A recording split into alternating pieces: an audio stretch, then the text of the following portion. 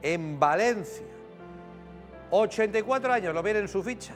Viudo, tiene dos hijos y cuatro nietos. Dice, Ramón, no quiero vivir así. No se puede decir más rotundo, por eso he sacado esta frase. Y lo ha dicho antes Gloria, es una definición de él y me parece muy buena definición. Es dura, es cruda, pero es real. La soledad es una tortura. Juan ha sido de los invitados, una vez más, que han ido perdiendo a su compañía, en este caso a su mujer, con el paso del tiempo, con la durísima enfermedad del Alzheimer. Y pasar esa prueba es durísimo. Y de repente te quedas solo. Y tanto. Y de repente cambia la vida Pero total. y se convierte total. en una tortura. La casa te cae encima. ¿Cómo conociste el programa? ¿Cómo aparece este programa en tu vida? Eh, yo qué sé, al estar tan solo, cambiando la tele. Y aparecimos nosotros. Y aparecieron. Y desde que apareció, pues todas las santas tardes, en vez de irme al bar, estoy viendo par- por- particularmente las dos parejas primeras. Las personas que vienen, Los que vienen a buscar te pareja. gusta escuchar sus historias. Eh, exacto, exacto. Bueno. Lo mismo, lo mismo. Pues ella y su vecina de enfrente eh, suelen ver el programa todas las tardes. Exacto. No se pierden, no se pierde ni uno. La, Muchísimas gracias. individual, cada uno Claro, en su cada casa. uno en su sitio. Pero es curioso, ¿no? A veces, claro, el Porque programa lo hacemos al en estar esta viudo tierra. yo- Claro. Pues ella le sabía mal. Ajá. Y ahora ella se ha quedado viuda también. La vida, Lo que es la vida. lo que es la vida. Bueno, Luchando toda la vida para nada. no, no digas eso. Sí. No, que no, Juan. ¿No? No. No, no has luchado. Has luchado y has conseguido muchas cosas. Sí, Ahora viene la parte mala de quedarse solo. Exacto. Pero no borres todo lo bueno que has tenido. Hombre, he tenido bueno. Pues eso. He tenido bueno. Entonces no digas que no ha valido para nada. Sí ha valido. Claro que ha valido. Pues sí, me voy al campo todas las mañanas, estoy dos o tres horas. Y ahora de momento hablaba con, con Julia Sí, con tu redactora. y, y lo pasaba bien. Ajá. Y ayer más todavía, Bueno. Eh, te entretiene estar ahí. mucho. Eso es bueno. Siempre hay que buscarse algo que hacer. Pues sí, Ayer porque fue un buen día. porque estuvimos mucho más rato hablando, Julia Ajá. y yo. Y eso, pues, quiera que no, te llena. Eh, Juan, es verdad, ¿no? Que cuando alguien está solo, una de las cosas que más echan de menos es poder hablar. Eso que llegue, si no puedes decir ni buenas noches, ni buenos días, ni vamos, qué vamos a comer hoy, ni, ni qué, qué hago. Me voy a la ducha, no me voy, me voy a la cama. ¿Qué hacemos? ¿Hacemos Pero cuando tienes con o- quien o hablar la no le das importancia. O hago, hago la cena o, o- no la hago la cena. Y no hay nadie que conteste. No hay nadie que me conteste. Y eso es muy gordo, ¿eh? Eso es duro. Y me llaman por teléfono mi cuñada, mis hijos, todo. El un- uno que vive arriba entra cuando viene de trabajar, pero no es lo mismo. No es lo mismo estar solo que estar acompañado. Exacto. Además me han dicho que eres muy apañado en la casa, que haces tú todo. Sí, sí, me suelo hacer casi todo. Vale, Casi todo. eso es bueno. ¿Qué remedio? No nos queda más remedio. Sí. El día que no tengo ganas de hacérmelo, pues me voy al bar. Pero voy una vez a los 15 días a lo mejor al bar, me traigo la comida a casa que no como en el bar. ¿Te gusta comer en casa? Sí, porque me como un plato solo. Sí. Y en el bar te sabe mal ir a Dejar un bar o, pedir a, solo una cosa. a comerte una cosa sola. ¿Qué te lo llevas? ¿En un tapercito o lo que sea? sí. Pido de lo que me apetece, hay tres o cuatro platos para elegir Ujú. y me lo llevo y me lo como y, y al día siguiente pues me hago la- lo que hay por allí, en fin. Igual me hago sopa de ajo, que me hago... Qué buena la sopa de ajo. Guay, muy buena, muy buena. Me hago Hace tiempo que no me hago yo sopa de ajo. ensala- ensalada de esas que hay en los supermercados. ¿Y te lo preparas tú? Sí, y sí, todo y todo, todo, todo me lo hago yo. Bueno, pues Todo una vez más, señoras, no piensen que este hombre que viene aquí viene a buscar a alguien, una mujer que le haga las cosas. No. Este hombre, y a la fuerza ahorcan, ha tenido que aprender a hacer de todo, Mu- a Muchas buscarse cosas. su vida. Y he estado entre mujeres. Claro. He estado con tres mujeres Bueno. últimamente y antes con dos. Pero no aprendido me ha quedado más remedio más que aprender. Eh, ¿Vamos hasta Domeño, a Valencia o qué? Sí, Allí naciste. allí nací. Allí naciste. Allí estuve hasta que el año 57 o 58. Vale. Antes de irnos hasta allí, ¿qué te parece si saludo a tu hijo? Pues no, no me parece nada mal. Bueno, pues es Todo lo Juan. contrario. Juan, buenas tardes. Hola, buenas tardes, Ramón. Encantado de saludarte. ¿Cómo estás? Lo mismo digo, encantado. Bien, Bueno. bien. Tra- trabajando, trabajando, pero Te agradezco que hayas hecho esta paradita. Lo primero quiero darte el pésame por, por mamá. Ya lo he, hecho, muchas gracias, Ramón. lo he hecho con tu padre y, y estamos encantados de recibirle aquí, de compartir con él este ratito y si a él le viene bien, nosotros encantados de la vida de, de hacer nuestro trabajo con, con papá. Eh, yo le había dicho esto, le puedes saludar que te está escuchando por línea telefónica. Hola, padre, ¿qué tal? ¿Cómo, cómo lo estás pasando? Buenas tardes, pues muy bien. Aquí se come muy bien y te atienden muy bien. Oye, no, no te malacostumbres, ¿eh? Que luego... Enca- encantado, igual me quedo, ¿eh? sí. Pues Igual- igual eres, quedo eres bienvenido. ¿Qué has comido, por cierto? Dile a tu hijo que has comido. A ver si me acuerdo. ¿El potaje de garbanzos has comido? No, el otro que había. El otro, el otro que No sé había, sopa no me- de, de Sopa de champiñón. picadí- de- So- de- champiñón. De champiñón, sopa de champiñón. Muy bueno. Vale. ¿Y qué muy más? bueno. Oye, un plátano. Un, Un plátano. Yo también he comido un plátano postre. No sé si ha sido un helado o un, un flan. ¿Y Sí, café bien, has tomado? bien. ¿Alguna infusión sí, o algo? me he tomado una manzanilla. Vale, perfecto. Muy bien, muy bueno, bien. pues para que veas que está aquí bien cuidado, Juan, ¿eh? Sí, sí, oye, lo, lo cuidáis eh, súper bien. Qué menos, Hombre, qué qué menos. menos. Oye, eh, yo creo, Juan, Juan padre, Juan hijo, estas cosas, los que nos hemos llamado igual que los padres. ¿Quién es? ¿Juan padre o Juan hijo? Pues Juan hijo al teléfono. Juan hijo al teléfono va a hablarles, señoras, de Juan padre, que está sentado aquí conmigo. Eh, un hijo conoce muy bien cómo es su padre. Eh, sí me gustaría que les hagas un perfil un poco a esas señoras que hoy buscan un compañero de vida. Juan, ¿qué les dirías de papá? Bueno, pues que es un hombre muy activo, es, eh, es un hombre apañado y que, y que se defiende en, la casa, que se defiende en la tierra. Él sigue llevando su tierra hacia adelante con su tractor. Todas las mañanas va al campo, tiene una vida social activa.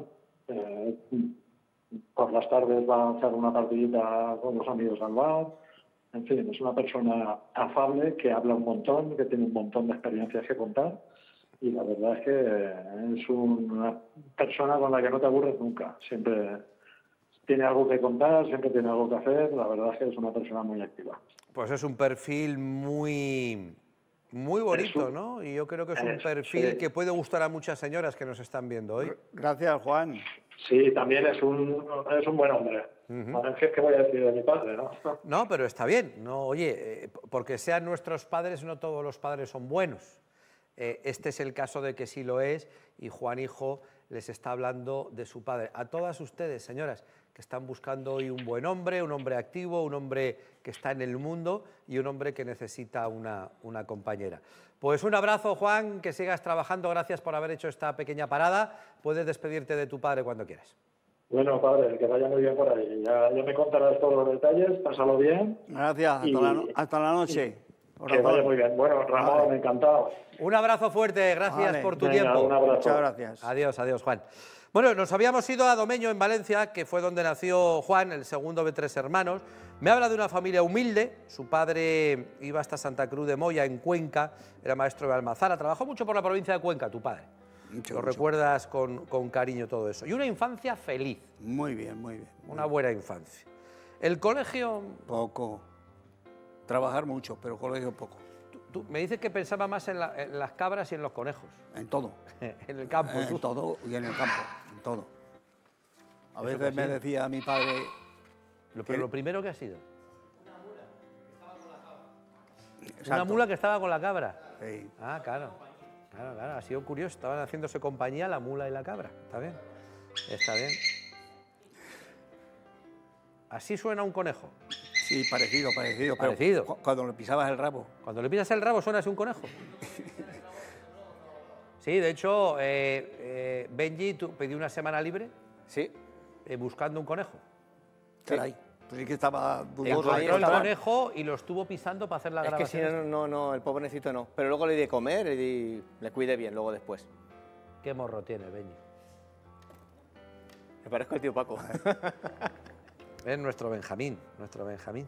Bueno, pues así recuerda un poco la juventud, eh, Juan. Tenías un tío alguacil.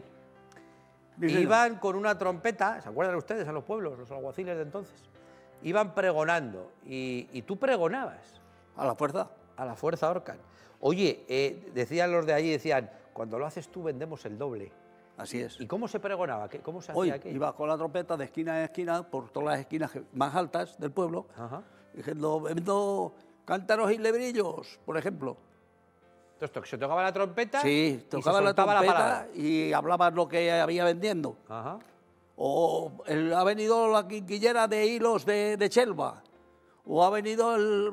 En fin, Lo que había. lo que había. Lo que o había. ha venido un carro con naranjas de Moncada. Ajá. Y la gente pues acudía allí al, al sitio que, A comprar que lo que sea. y- sí. Bueno, Pero pues ya lo me sacaban del colegio para, eso. Para eso. Lo hacía bien, lo hacía bien. Sí, de, mejor que mi tío. De pregonero, con el tío. Me lo decían a mí, Claro. claro.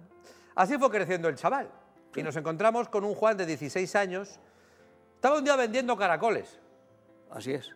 Allí había mucho caracol. Y apareció una chica con una trenza como Rapunzel. Como la de los dibujos animados. Pues sí, poco más o menos. Poco más o menos. Su padre hizo la mili con el tuyo. Sí. O sea, encima se conocían, tenían amistad. Claro. A veces vendimiaban juntos y así os conocisteis. Fue a vender caracoles a su pueblo, lentamente, a Villar del Arzobispo y allí os conocisteis. ¿Cómo fue el momento de conoceros? Yo la había visto alguna vez, pero me fui a la puerta del colegio a verla salir del colegio. Ajá. Yo Y ahí estaba ella. allí estaba. Yo cogía la bicicleta y me, me acercaba a los 15 kilómetros que hay o 20 de mi pueblo a ese. Llevaba caracoles o lechugas o lo que había en el campo porque nos dedicamos a la, a la agricultura. Y caracoles apenas llovía, Salían. co- cogías a, a puñados. Ibas con un farolillo, llenabas dos cubos y ale, A venderlo. a venderlos en la bicicleta, con una BH a- a- al pueblo. Y ahí estaba la de la Y- trenza. Y, ahí estaba la de la trenza. Y poco a poco pues nos fuimos conociendo. Ujú. Empezó a frecuentarla, empezó a ir tanto al pueblo que ya hizo amigos allí. Uy, y Todo tal. por ver a la chica. Exacto. Y muchas veces decían, quédate aquí a cenar, venga, los amigos y sí, tal. sí. Ya, ya Lo- se convirtió en, en uno más, ¿no? Su hermano era de su quinta, eso lo puso todo, todo Sí. más fácil. Y bueno, aquella amistad ya fue creciendo, vamos, que al final estaba ya colado, colado por ella. Aún no eran novios y con 17 años, podemos ir mucho para Francia. Te vas a Aviñón. ¿Qué había en Aviñón? ¿Qué se te Ah, había perdido ahí? A Aviñón terminaba el tren. De allí nos vamos a Caballón, a Opeda. De Opeda a... Ahora no me acuerdo. Los viajes de entonces. Caballón, ¿eh? Carpentras. Carpentras. Bueno. Y de allí a Villesurozón. En los tres sitios he estado trabajando. Había que ganar dinero y en Francia se ganaba Eh, más. Entonces, eh, cada país teníamos nuestra moneda. El franco francés, al cambio de la peseta, era muy bueno.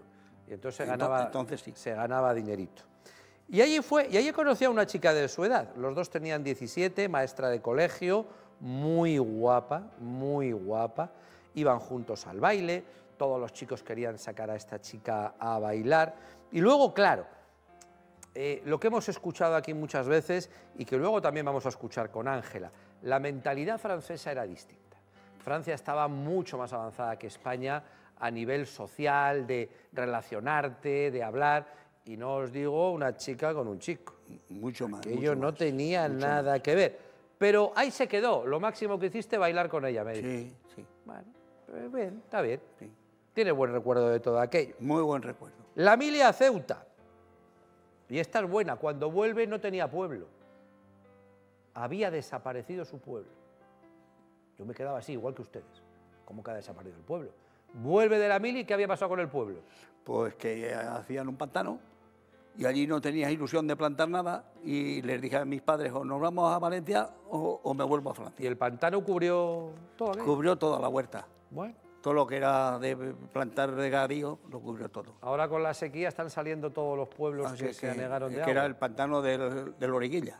También tiene que ver luego cosas de- que nos va a contar Ángela con estas historias. Habéis coincidido en muchas cosas. Bueno, pues como dice, sus padres compraron un piso en Valencia y para allí se Y mudaron. la- ya no tenían, con, con no las tenían perras- pueblo. Con las perras de Francia. Claro, las dinero de Francia. Se colocó de carpintero, luego de albañil, luego de chofer en una fábrica de lámparas de artesanía. Y con 25 años, ¿se acuerdan de la chica de la trenza? Se la va a volver a encontrar. Curioso. Ya saben que las familias mantenían amistad, se conocían de toda la vida y volvieron a verse. Y claro, donde hubo fuego, Queda, algo quedaba queda, allí quedaban ascuas. algo quedaba allí y luego que erais muy jóvenes además. Pues Juan. sí. Eras muy jóvenes. Volvieron a charlar, volvieron a encariñarse. Yo creo que retomaron aquel cariño y aquel amor que ya habían plantado de, de jóvenes, ¿no? Y a partir de ahí empieza la relación. Así fue. ¿Qué pasó con el primer beso, Juan? Hostia, que me pegó do- dos bofetas. ¿Pero qué hiciste? Uy, que, que veníamos del cine, se sube el, el acompañante para arriba y yo allí en la escalera, pues ya me iba a ir a, a Valencia Sí, y quise darle un beso. aprovechaste, pero sin permiso. Le di dos sin permiso, pero Sí. a mí me costó dos bofetas. O sea, bofetada por beso. Le plantó dos besos sin avisar y la respuesta pues fueron dos bofetadas, que a veces nos cuentan estas cosas Vaya. nuestros, nuestros mayores, ¿no? Bueno, al final eh, no llegó la sangre al río, No. hubo paz y, y esa noche ya volvieron a ir al cine, después de dos días sin hablarse, ya le dijo, nada, hoy ya nos damos el beso, pero ya permitido y consentido. La suegra siempre estaba ojo a visor. La suegra o la cuñada Siempre o, había o alguna... en fin, siempre tenía que llevar uno u otro al cine para llevar compañía. Siempre había carabina. Siempre tenía carabina. Qué Siempre. duro era eso, ¿eh? Y si no, las amigas, que Oh. iba yo con siete u ocho, Joder. y yo solo. Anda que... Sí. Pero bueno, cada una se pagaría su entrada, ¿no? A veces sí, a veces no. ¿En serio? ¿Tenías que pagar tú encima la entrada? Algunas veces sí. Me cachi la El mano. primero que se adelantaba la- le tenía que pagar y como que siempre iba yo delante, Claro, pues, y tú, a ver. tú con tal de estar con la chica, eh, pues para adelante. Bueno, pues noviazgos de aquella época que tantas veces hemos escuchado aquí, pero este es el caso de, de Juan. Tres años de noviazgo y se casan con 28, tú tenías, ella 25. Sí, señor. Ahí está Juan, el día de la boda. ¿Estás serio? Estás ahí, Sí. serio, serio, con la foto. Es que no sabía dónde me había metido. Era la verdad. Como 100 invitados. ¿Qué tal la Sí. boda? ¿Cómo fue? ¿Lo pasaste bien? Bien, bien. Muy bien. ¿Comida? Sí, hubieron paellas, lo que se ha- hacía entonces. Ah. Lo que se hacía ahí. Lo que se hacía entonces. ¿Baile también? Antes eran dos, tres conejos, tres pollos y dieron allí tres o cuatro paellas y, y baile. Aprovechaste para bailar y luego ellos habían alquilado un piso que es donde pasaron la noche de bodas. ¿Qué tal fue la cosa? Me han preguntado las chicas de los La Navalucillos. cosa fue muy bien, pero fuimos a- a- a- así, esmayados. Ah, ibais de estreno, Íbamos de estreno. los dos. Y, vale. y encima salimos de las fotos muy tarde. Y Sí. estaba casi todo cerrado en Valencia. ¿En serio? Y nos fuimos y con dos zumos o dos, no sé cómo se llaman eso. Pero no comisteis nada ni cenaste. Nada, un chole cada uno. Me cachi la madre. que íbamos más ligeros de tripa que yo que sé. Hasta el día siguiente que nos fuimos a un hotel. Dije, Bueno. no, esto no puede ser. Bueno, de luna de miel, Palma de Mallorca, Madrid, Alicante. ¿Cómo hicisteis todo en una semana? Uy, nos metieron más, más permisos en las lámparas. Joder, pues sí que aprovechasteis. Sí. Sí que aprovechasteis. Así siguió la vida. Fue padre, luego cogió un taxi y se ha recorrido gran parte de, de la región, ¿no? Nació su primer hijo a los 10 meses. Fuimos unos padres que se nos caía la, la baba, ¿no? Queríamos una parejita, pero nada. Así llegó luego otro chico. Vino otro, vino otro chico, otro chico. Y ahí cortemos la coleta. Ahí ya se cortó la colecta. Mucho estuviste por Almansa, por Albacete, por ahí con el taxi, ¿no? Por muchos sitios. Sí. Por muchos sitios. Casas y Marro, aquí en otro pueblo de aquí al lado, yo qué sé. Claro, por la zona de Valencia siempre ha habido mucho castellano manchego para allá. Muchos, muchos. Tenía hasta en la escalera, tenía tres o cuatro. Tenía gente ahí. Mm, En el piso Bueno, donde vivíamos. pues esa fue un poco la vida, los niños ya nacidos, creciendo, el taxi para atrás, para adelante, muchos kilómetros. A raíz del segundo parto, me dice Juan, su mujer cogió depresión. Y no se recuperó nunca. Ya no estuvo tranquila como antes, ya no era la mujer. No de era lo que era, ¿no? se ponía muy nerviosa, me No, no, dices, no, se alteraba. Pero bueno, también disfrutó, Juan, Juan hizo lo que pudo, porque, Me tenía que cuidarla por claro, fuerza. ya saben ustedes las horas que mete un taxista en el, el volante. Pero él intentaba buscar tiempo. Fíjense cómo era que a veces pasaba por casa para que se asomase a la ventana ella. Y, y Juan desde el taxi la miraba y ya se quedaba un poco tranquilo al verla ¿no? En, y ella en la también. ventana. Y ella también, al verte, al verte a ti. Habían llegado a ese equilibrio, ¿no? Mm. Eh, ella estaba delicada de salud, Juan lo sabía y, y hacía todo lo posible por pasar el máximo tiempo con, con ella, normalizar aquello, ¿no? Eh, siempre que podía, pues Juan se escapaba, la intentaba animar, Claro. subirla el ánimo. Y bueno, pues Y, y solo trabajaba lo que era la semana, Claro. sábado y domingo con eso ella. lo guardaba España. Sábado y domingo con ella. Lo guardaba España. Juan se jubiló con 60 años y empezaron otra etapa en la vida. Y aquella enfermedad que estaba dentro ahí escondida dio la cara. El Alzheimer es una de las enfermedades más puñeteras que hay. Porque no, no, no siempre da la cara de la misma manera. Los síntomas son distintos en diferentes pacientes. No siempre sale por un lado. Eh, las cosas que hace un enfermo de Alzheimer no siempre son las mismas, ni las hace con la misma edad, ni las hace en el mismo momento. Entonces, a veces es difícil diagnosticar que se tiene Alzheimer. Era Y es complicado eso. Pero dio, dio la cara. Y me dice Juan, ¿y qué duro, Ramones? Más de lo que parece, Todos me lo decís. Más de lo que parece. Hay que vivirlo para saberlo. Esas son las frases que me decís todas las personas, y han sido tantas las que venís aquí, que habéis tenido que cuidar con un enfermo de Alzheimer. Ay, Llegó la pandemia, le pilló a su mujer ingresada, fue a una residencia, a veces me dice Ramón, me enseñaban una foto y me tenía que conformar con eso. ¿Qué les voy a decir de esa época? Los últimos cuatro años de matrimonio tuvieron que vivir separados, ella en la residencia, que era donde mejor cuidada estaba, y él en casa. Por eso cuando alguien enviuda de una pareja de Alzheimer, no es el momento cuando fallece, tristemente es mucho antes. Eso también me lo dicen todos. Y eso lo he aprendido yo aquí. Pues por todo eso ha pasado Juan. Pero es que se queda solo y es peor. Porque ahora ya es otra vida, Juan, ¿verdad? yo que sí. Ya no sabes qué camino Estás coger. desconcertado a veces. No sabes qué camino coger. Si coger a la derecha, al frente o a la izquierda. Y gracias que me voy al campo todos los días, dos eso o te tres horas. ayuda. Dos o tres horas. Si no, pensando siempre lo mismo, no, no es plan. Pues miren, Juan es el invitado perfecto que explica muy bien cuál es la sensación de soledad. Cuando alguien ha sufrido al lado una enfermedad tan dura como el Alzheimer, no hace mucho tiempo que ha enviudado, que se ha quedado solo físicamente. Y cuando uno tiene una vida ya proyectada, planificada, más o menos en la cabeza, y todo eso desaparece, gestionar eso y meterse otra vez en el carril de la vida no es fácil. Por eso Juan está aquí. Todas las personas que vienen aquí vienen porque están solas. Nos reímos mucho con ellos, lo pasamos bien, a veces lloramos mucho con ellos, es decir, intentamos que ellos también disfruten de la tarde, que pasen Sí, un buen que programa. no lloro tanto. Pero no hay que olvidarse nunca, y yo soy el primero que no lo hago, que todas las personas que se sientan aquí conmigo hubiesen deseado no venir.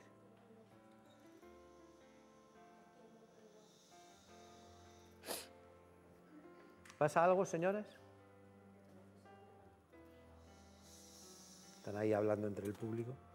Eh, lo que les decía, es importante nunca olvidar eso, que las personas que aquí vienen, vienen con ese problema de soledad, vienen con esa idea de que aquí se les puede ayudar. Y eso es lo que vamos a hacer con Juan. Eh, Nosotros no lo podemos hacer solos. Son ustedes, señoras, las que hoy viendo el programa pueden haberse interesado por Juan. Les doy algún dato más. Eh, le gustaría a Juan que la mujer que sea, pues sea de cerca, siempre lo decimos, siempre ayuda, ¿no? Él quiere convivir, está dispuesto a compartir, pero lógicamente lo primero es conocerse, es sentido común. Que se cuide, que no fume y la idea, hacer planes. A Juan le gusta viajar, le gustaría salir, le gustaría hacer planes, pero lógicamente hay que darle tiempo al tiempo. Así y es. creo que además tú lo necesitas, colocar bien las piezas, colocar bien Solo las no se cosas, puede ir a ninguna parte. pero solo no. Pues Juan, que haya mucha solo- suerte. Exacto. Que haya mucha suerte. Susto. y que tu visita de hoy sirva para encontrar esa compañía. Muchas gracias, Ramón. Esta es la llamada del directo, la primera señora que va a estar apuntada en la lista de Juan. Se- señora, muy buenas tardes. Hola, buenas tardes, Ramón. ¿Cómo se ¿Qué llama esta chica? Muchas gracias. ¿Cómo se llama esta chica? Pues mira, o Mari o Trini, como más le guste. Como Maritrini. Maritrini, Sí. Maritrini. ¿A, a ti cómo te gusta que te llamen? Ay, me da lo mismo. Vale, te llamaré Enriqueta. No, no, no, no, Enriqueta no me gusta, ¿eh? Ah, bueno, entonces Mari. Vale. vale, vale, vale. Qué simpática Mari. Eh, Mari, ¿desde dónde nos llamas, cariño? Eh, de un pueblo de Valencia. Mira, pues estamos por la zona, no estáis muy lejos. Ah, no, hoy qué bien, hoy qué bien. Eso es bueno para los dos. Pues, eh, hombre, espero que sí. El nombre del pueblo no me lo dices, se lo quieres decir a él en privado, ¿verdad? Sí, se lo diré en privado porque mm, ya no quiero que la gente somos me dicen, ay, que te he escuchado, que te he escuchado, te he visto. ¿Y cuál es el problema si te han visto? ¿Estás haciendo algo malo? ¿Has matado a alguien? Nada, nada, nada, nada, hija. Yo, yo soy una persona formal. Olvidaros del qué dirán. ¿Qué Eso, importa lo que digan los demás? Lo No, importante ya. es tu vida y ser feliz. ¿Qué importa que te oigan? ¿Qué Ya, importa ya. que te vean? Si eso es bueno, No, estás arreglando tu bueno. vida. Quitaros de, eh, de no, encima no, los ya, miedos. Ya, voy quitándomelo, ya voy Eso. quitándomelo. Eso es importante. Muy bien hecho, Sí, Mari. sí. ¿Cuántos Vale. años tiene Mari? Pues mira, 82 y ahora el mes que viene haré 83. Pero ahora tengo 82, ¿eh? Claro, después del 82 va al 83. ah, yo quería el 81, pero dicen que no. Bueno. Oye, Mari, estado civil, cariño. Vale. Hola. Estado Dime. civil. Ah, yo, viuda, viuda, viuda. hijo, viuda. ¿Hace Como- mucho? Pues sí, sí, hace para 11 años. Vale. Pero bueno, eh, bueno, me queda una hija, pero es que yo tengo una historia también. Yo me fui a Holanda, Ah. recién casada, y mis hijos nacieron allí. Ah, Y el mayor, pues, se le dio un infarto cerebral y murió. ah, lo siento. Ya, Bueno. y mi hija, pues, ha estudiado allí, trabaja allí. y Está en tengo Holanda, a ahí. mi nieta. Sí, Bueno, mi hija. Yo voy cuando, de vez en cuando. Ella viene también. Muy bien. Y mira, así, así llevamos la vida. Hoy tenemos muy europeo el, el programa. Francia, Holanda, tenemos de todo. Bueno, Sí, ya, ya, ya. Eh, es que hay- hay muchos españoles que emigramos, emigramos. Pero luego hemos vuelto a toda España, porque yo España la he llevado siempre en mi corazón. eso es importante. Por eso tenemos que pensar que cuando viene la gente ahora hay que cuidarles y ayudarles como nosotros cuando nos fuimos a otros Claro, sitios. claro. Pero bueno. Querida Mari, te voy a presentar a Juan. eh, él te va a Ah. saludar, te va a dar las gracias Vale, por tu llamada. Y lo que voy a hacer es lo siguiente: le Dime. daré a Juan tu número de teléfono de contacto. Él, cuando Vale, tenga un rato, te llamará y ya en privado, Sí. ahí nadie os va a molestar, habláis solo vosotros. Vale, vale. ¿Te vale. parece bien? Bien. Sí, claro, bien. Perfecto. bien. Pues Juan, mírame, si eres tan amable, tú mira aquella cámara que está ahí encendida y ahí puedes saludar a esta chica que se llama Mari. Allí, Juan, haz el Muchas favor gracias por ahí. llamar, Mari. Hola, hola, buenas tardes, Juan. Buenas tardes. Eh, gusto de escucharte. Ya- Ya te está escuchando y más o menos eh, en la vida nuestra ha sido más o menos igual. Pues sí, poco más o menos. Sí, sí, sí. Mira, ya tenéis para hablar en común un montón de cosas. Hombre, Eso es bueno. Algunas tendremos que hablar. Eso es bueno. Algunas. Hombre, no hablar. Ellos dicen que soy muy habladora, pero bueno, ¿qué voy a hacer? Bueno, Soy Eso es bueno. aquí el que más y el Bien. que menos hablaremos. claro. Pues ¿Por qué presentaos, no? presentaos quedáis, Mari, ¿de acuerdo? Vale.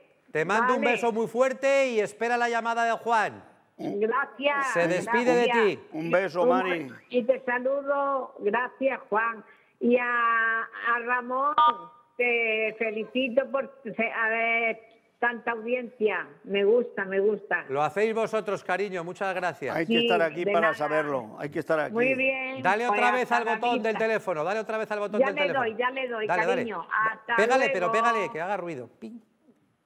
Ya, ya no ha hecho, ha colgado ya. Qué lástima. Julia Ortiz, Buenas tardes. buenas tardes. La redactora de Juan. Tu Hola, opinión. Juan. Muy bien, como hace el tío Buenas Paco. tardes, Julia.